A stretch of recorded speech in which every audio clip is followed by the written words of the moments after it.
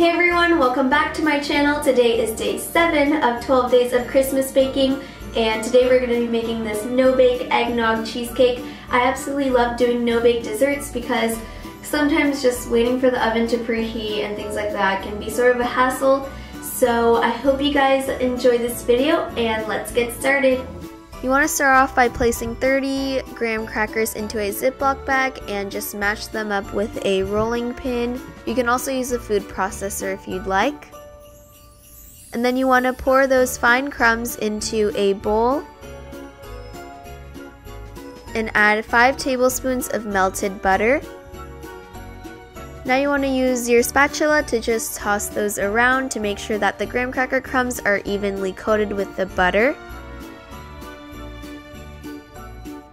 You know that it is ready when you press firmly and the crumbs hold their shape. Now you're going to place the graham cracker crumbs into a 9 inch springform pan. And at first I just like to spread it out using my spatula and then use my hands to kind of firmly press it down. I also like using the side of a measuring cup to firmly press it down as well. Now you want to place this in the fridge to chill.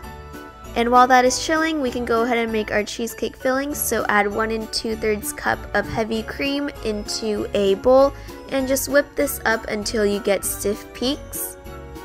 And it should look something like this. In a separate large bowl, you're going to place 16 ounces of softened cream cheese and just beat that up until it is nice and fluffy. And to this we're going to be adding a cup and 2 tablespoons of powdered sugar.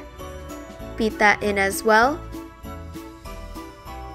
Don't forget to give your bowl a scrape to make sure that everything is incorporated evenly.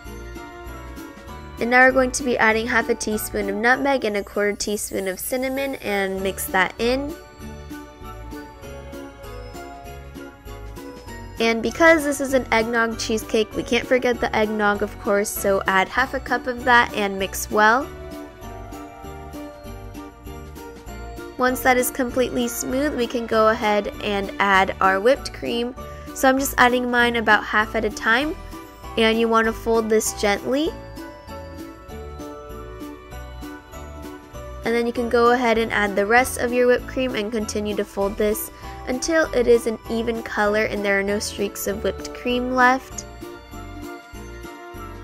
Now you can add the cheesecake filling into your graham cracker crust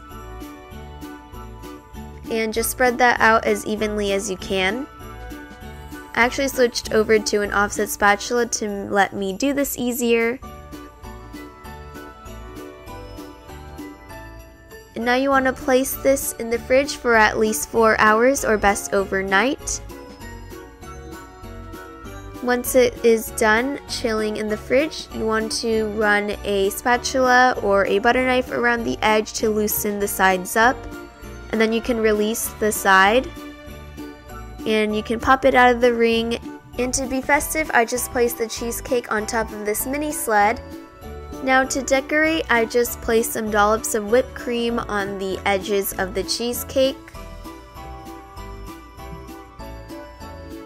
And to finish it off, I just dusted some cinnamon on top of the cheesecake.